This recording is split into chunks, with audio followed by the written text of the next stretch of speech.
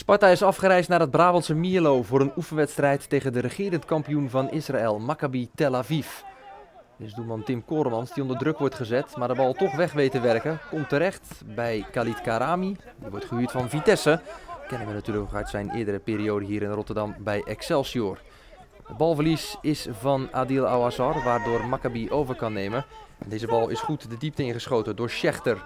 Nou, door een aanval van Maccabi. De voorzet is van David Sada. En de inzet is van Avi Rikan. 30-jarige Israëliër, bezig aan zijn vijfde seizoen. Maar de redding van Koremans mag er ook zijn. Lange trap van Andreas Gianniotis. De doelman van Maccabi komt terecht bij Karami. Koremans. Slechte uittrap. Heeft het geen gevaar op. Maar een omschakelmoment toch van Sparta. Met Brian Smeets. Houdt goed zijn tegenstander van zich af. En ziet Agge de diepte ingaan. Daar kan de spits van Sparta wel bij.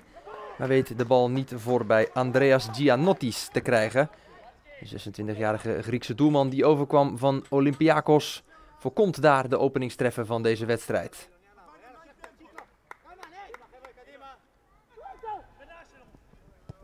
Sparta komt wat beter in de wedstrijd. De openingsfase was voor de ploeg uit Israël.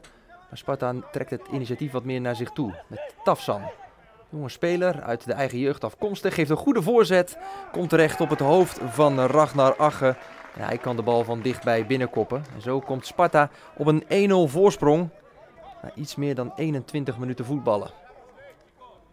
Goede actie aan de rechterkant van Elias Tafsan. Kan dus vrij makkelijk worden binnengewerkt door Ragnar Agge. Maccabi dan.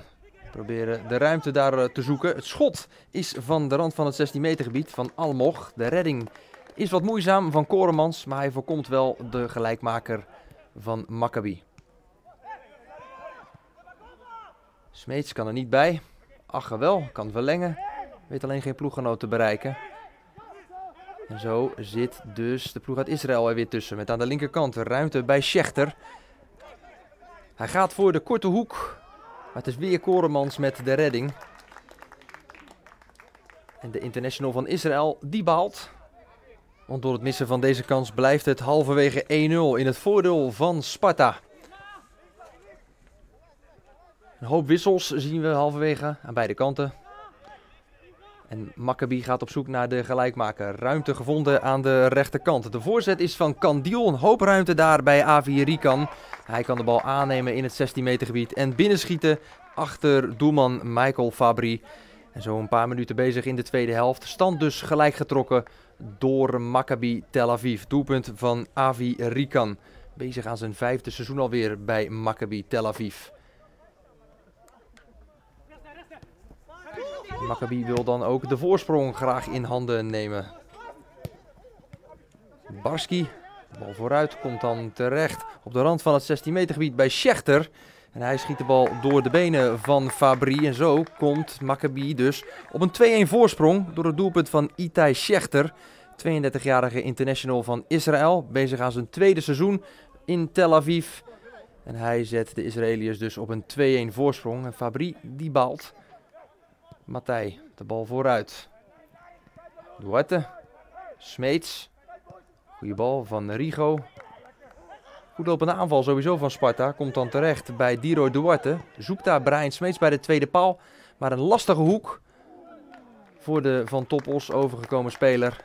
En het is dus de doelman van Maccabi met de redding. Andreas Gianniotis. Smeets. Faaien. Matig weggewerkt. Waardoor Maccabi over kan nemen. Bal de diepte ingestoken door Atsili. aanval gaat door. Bal komt terug bij Atsili. Maar hij kan de bal niet binnenwerken. Deze gaat dus naast het doel. Had graag een hoekschop gewild. Maar de scheidsrechter fluit dan ook direct voor het einde van deze wedstrijd. En dus verliest Sparta in Mierlo van Maccabi Tel Aviv met 2-1.